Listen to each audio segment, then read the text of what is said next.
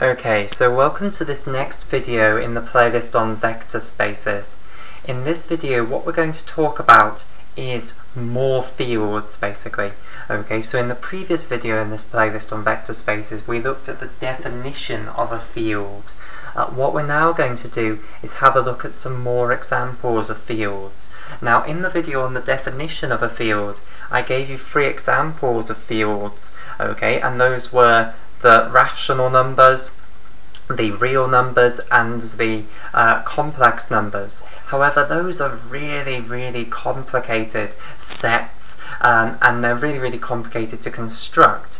What we're going to see in this video is some examples of some much, much simpler fields. In fact, these are going to be fields with a finite number of elements in, okay, and we're going to have a look at the prime fields. Okay, right. Uh, so firstly what I would like to do then is just remind you of the definition of a field, then we will go through the construction of a prime field. Okay, so firstly let me just remind you then of the definition of an abstract field. Okay, so an abstract field which we'll call capital F here, okay, it starts its life off as a set of symbols. Okay, so you firstly start off by creating a great big set of symbols which can either be finite or infinite.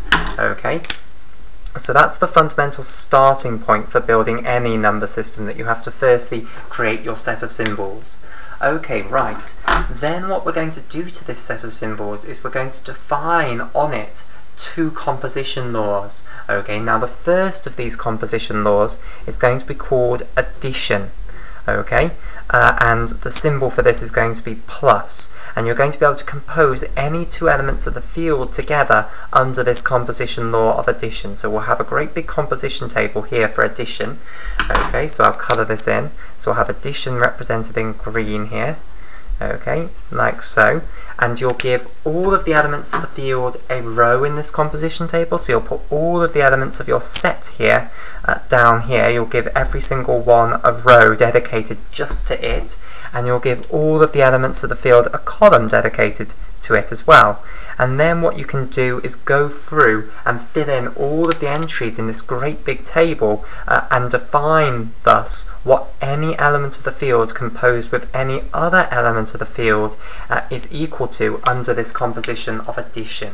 Okay, and uh, we know that the axioms that this addition composition table needs to obey uh, is the axioms of an abelian group.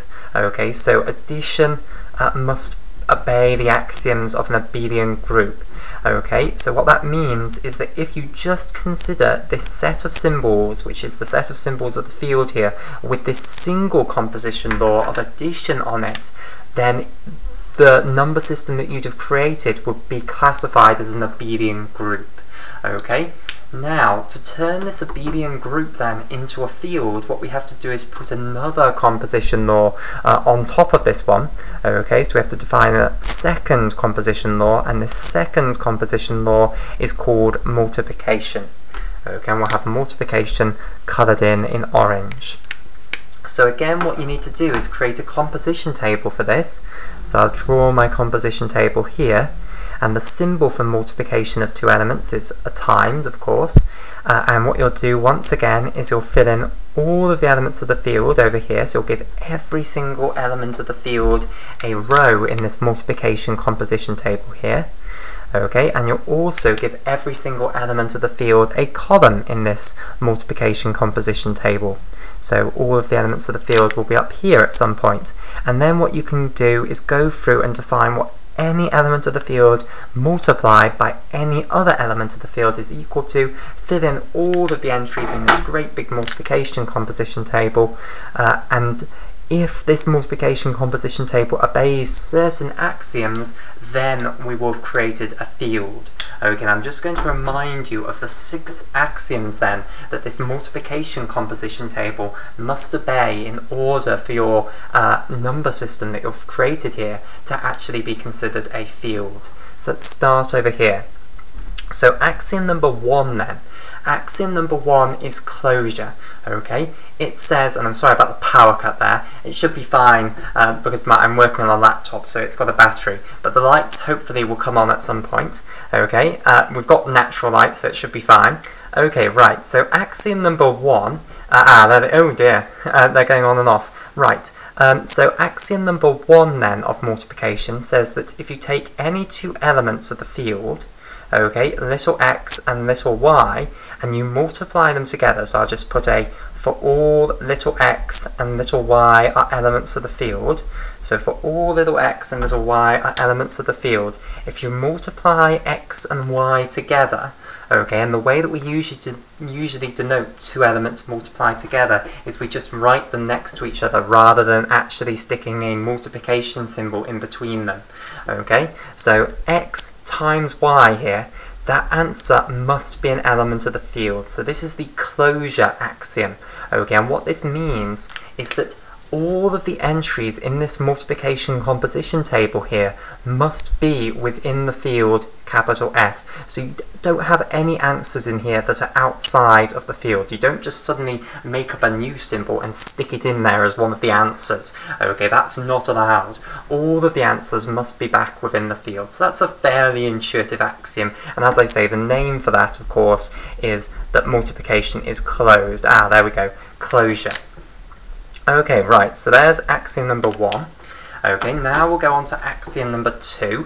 Axiom number two is associativity. Now, this is a complicated property, but we've studied it to death in group theory, so we're used to it by now. Okay, so associativity concerns multiplication of three elements of the field. So for all little x, little y, and little z that you can pick from the field, uh, it must be the case that if we consider the multiplication of three separate things, x multiplied by y multiplied by z, there must be one and only one answer to what that is. Now, when we consider multiplication of three things, Obviously we can't just do it with this multiplication table because the multiplication table only tells us how to multiply two things together at once. So if we want to multiply three things together, the way we have to do it is by putting some brackets in here to split it into multiplication of two things at any one time. Okay, but the problem is that there are two ways of putting in brackets. You can either put the brackets around x times y here, which means firstly multiply x and y together, which is something you can do using the multiplication table.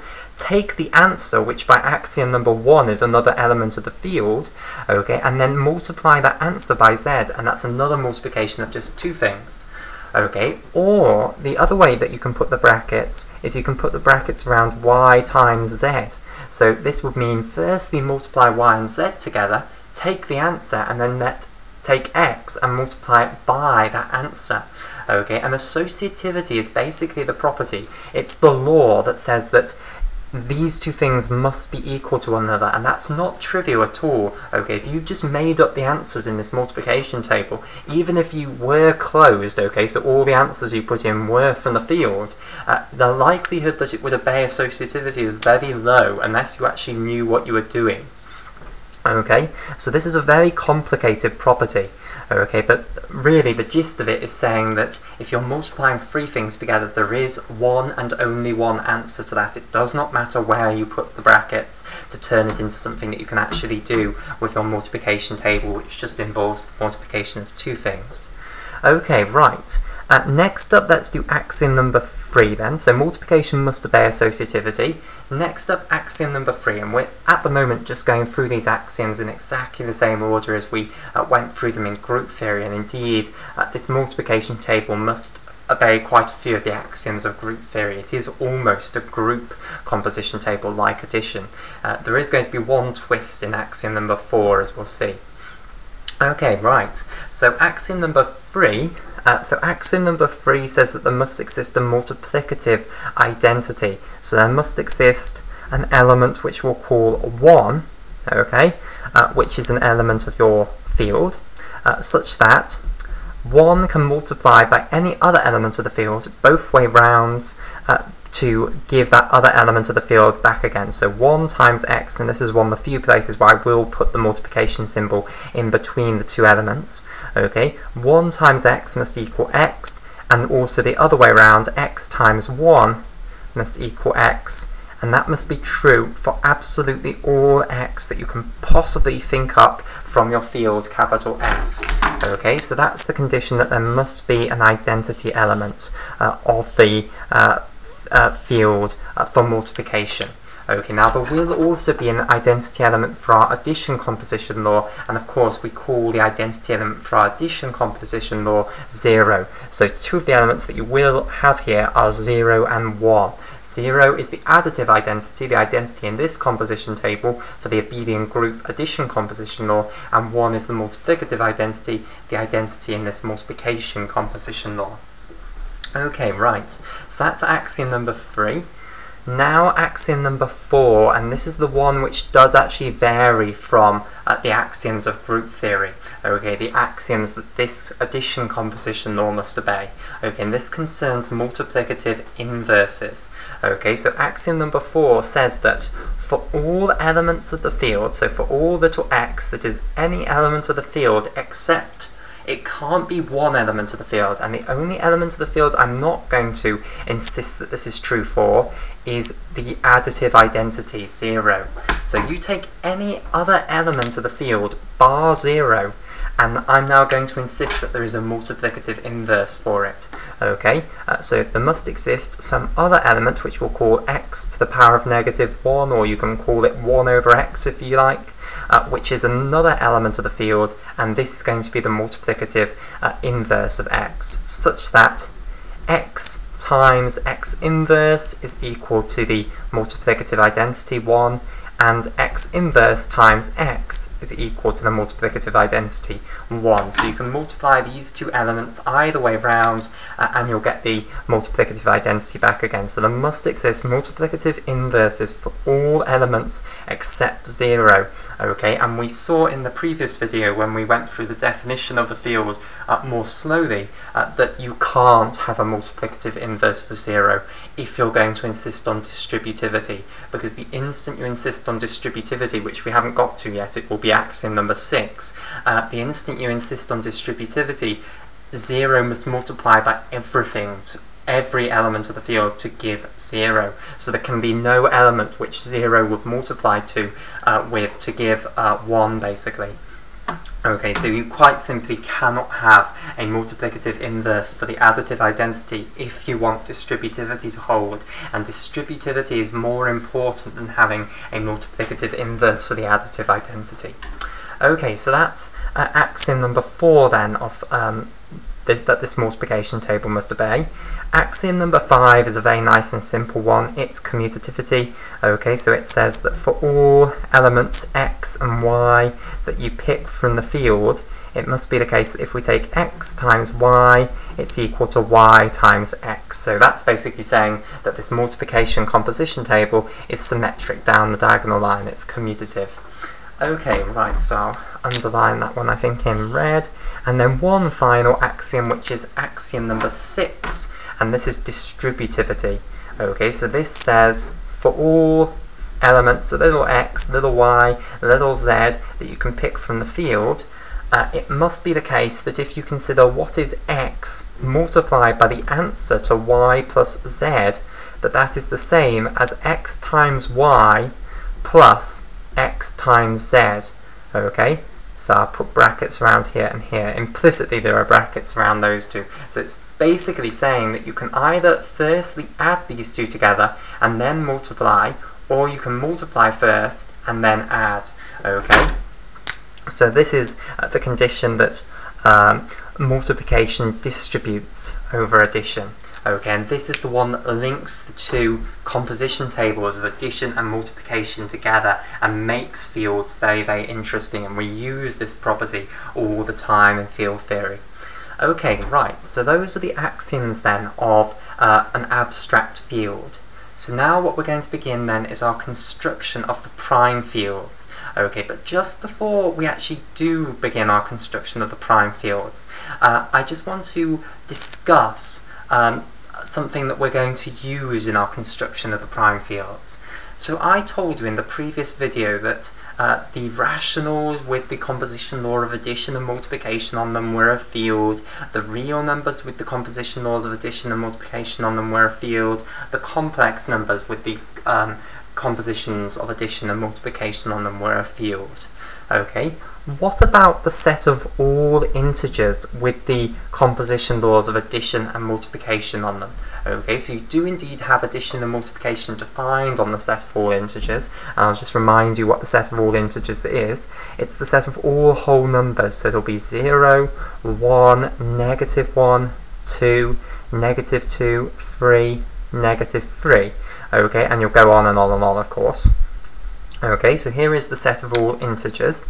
Now, under the composition law of addition, the integers is an abelian group. Okay, so it certainly has an addition composition law on it, which is an abelian group. Okay, uh, so now let's think about the multiplication that we define on top of that. So we can define a multiplication of integers together. And let's think about whether or not it's a field. And the answer is that it's not a field, but let's think about why it's not a field.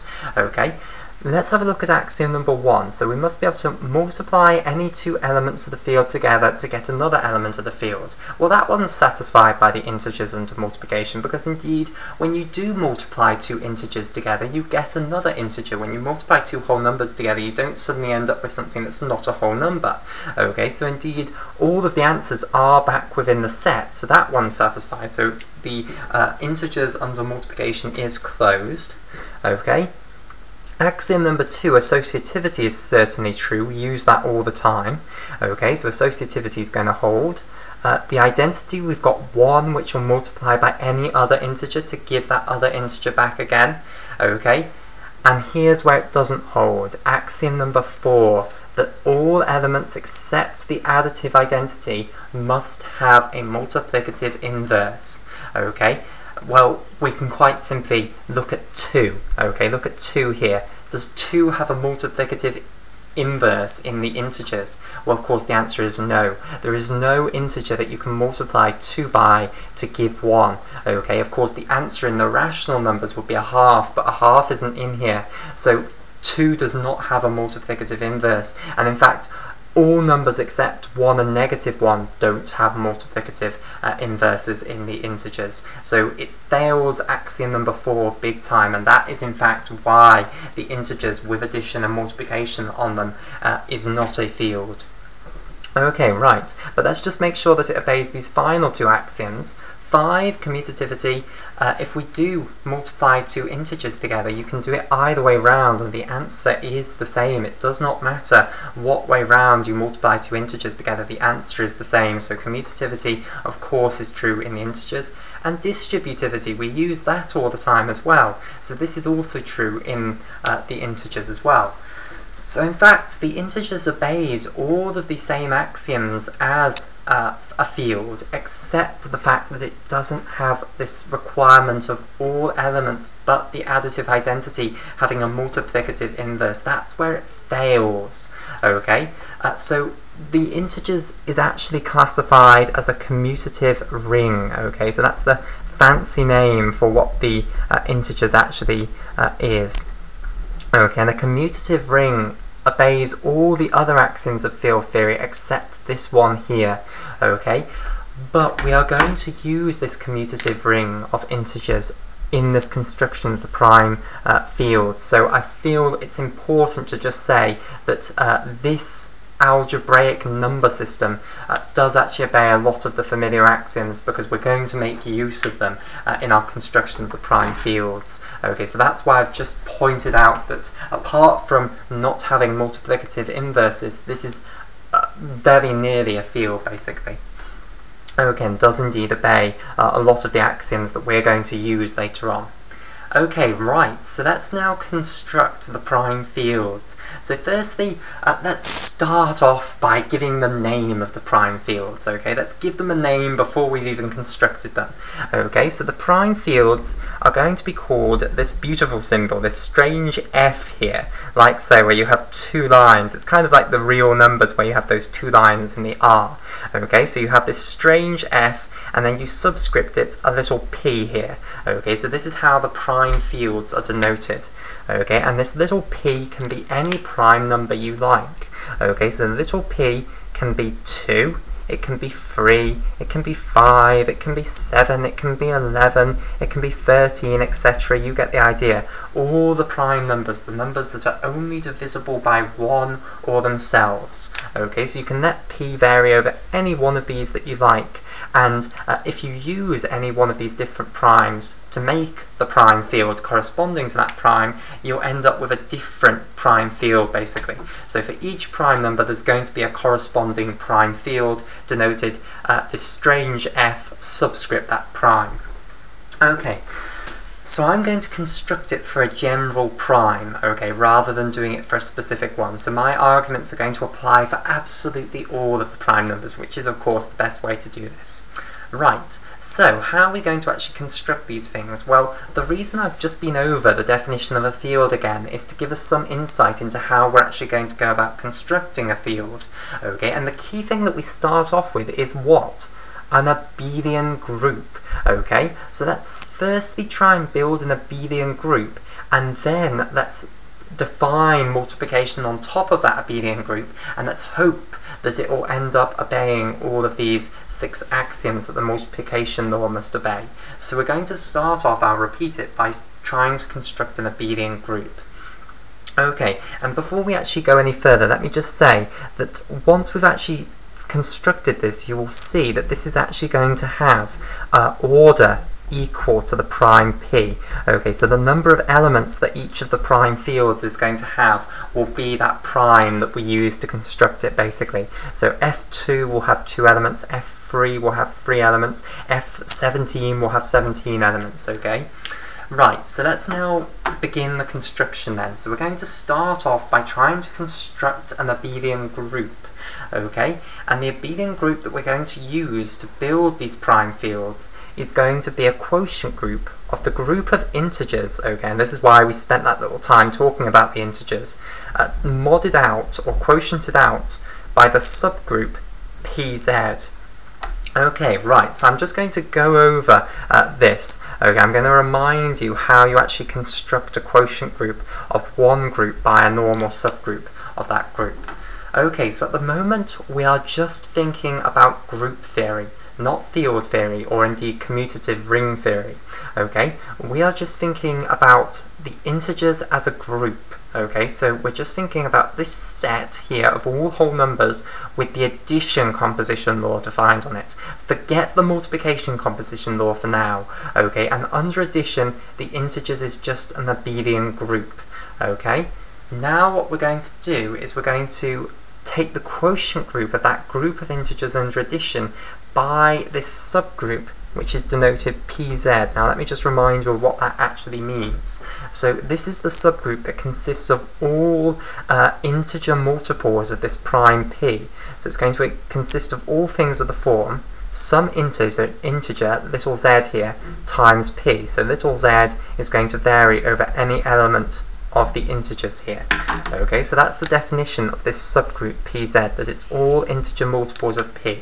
Now if I write that out a little bit more explicitly, this will be the set that contains, well let's go through the different integers here. So we'll start off with 0, so we'll get 0 times p, which will just be 0.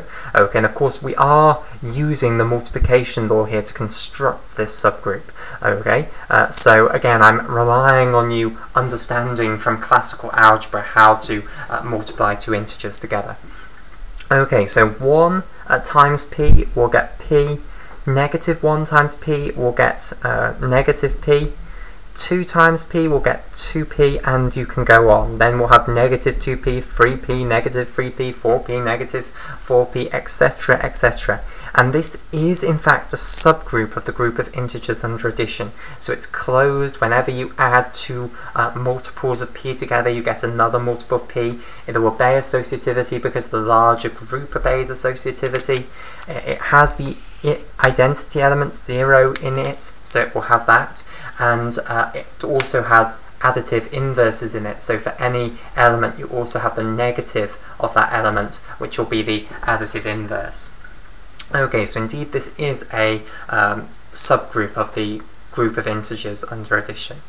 Okay, right. Now because we're working in an abelian group, because the group of integers under addition is indeed an abelian group, it's commutative, okay? Uh, all subgroups are normal subgroups because remember in abelian groups uh, conjugation has absolutely no effect whatsoever okay so that means that whenever you conjugate elements of a subgroup by elements of the group, you will always end up with that same element back again, which is certainly an element of the subgroup. So all subgroups are stable under conjugation by uh, the larger group, basically.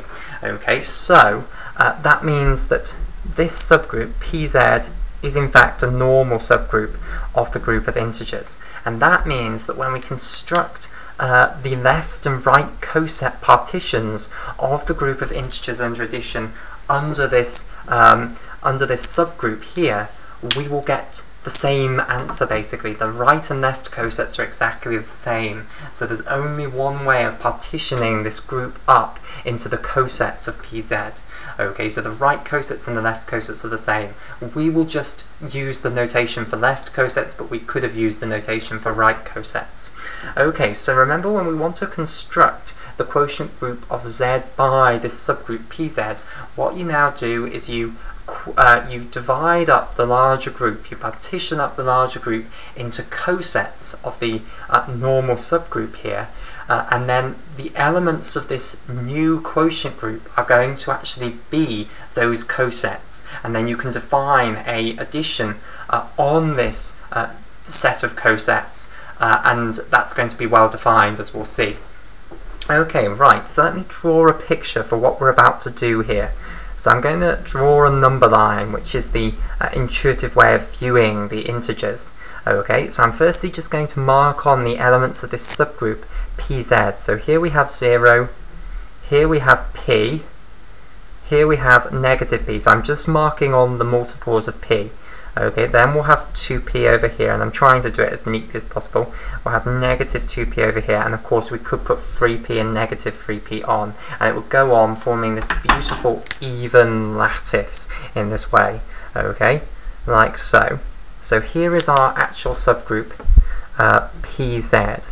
Okay, and now what we want to do is we want to partition up the entire number line, the entire set of integers, um, into the cosets of pz and we'll use the notation of left cosets although as I keep stressing we could use right cosets. They're exactly the same. Okay so what we're going to do then is we're going to take all the elements in this subgroup pz and we're going to now add on 1 so we're going to form uh, the left coset of pz under the element 1 here. So we're going to now add on 1 to all of these. So we'll then get 1 here we'll get uh, p plus 1, and this is going to get a bit squashed. Um, and then over here we'll get 2p plus 1, and over here we'll get negative p plus 1, we'll get negative 2p plus 1 over here, and etc. Okay, so this is going to be the set of all elements just to the right of the elements in this subgroup pz here. Okay, so this is the left coset of the subgroup pz under the element 1 okay and then you can continue on.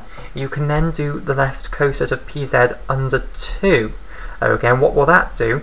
That'll take you onto the next ones along. So let me just mark these on. I won't try and put the annotations this time because otherwise it'll get too crowded. Okay I'll colour these ones in in orange I think. So here are the elements of this left coset of pz under 2 this time. All of the elements of pz moved to the right by 2 this time. And you'll continue on, so you'll have 3 plus pz, 4 plus pz, right up to what will be the final coset that we will need to cover the entire integers. Well, that'll be the one where we've shifted everything along by p minus 1. So we'll go all the way along to p minus 1 plus pz. And when we shifted all of these multiples of pz along by uh, p minus 1, where will they now be on this number line? Well, they'll be just now to the left of the one ahead of them. So this one will be moved up to here. Okay, so this is 0 plus p minus 1, basically. This one here, which was p, will be moved up to here. So again, now this is uh, um, 2p minus 1 now. Okay, so this is 2p minus 1. Uh, and then this one will be moved up right to the left of 3p up here.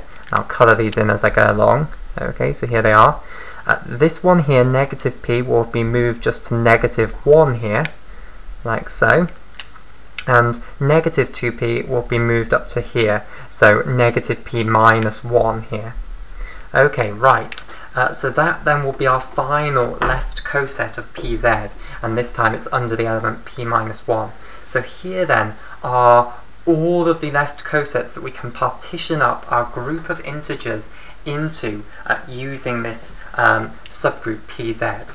Okay, so what we're now going to do then to construct our quotient group of z by pz here is we're going to stick all of these cosets into a set and that's going to be the set that's going to form our new group basically our new uh, what we're going to see is going to be an abelian group okay right uh, so we need then a name for all of these left cosets of the subgroup PZ.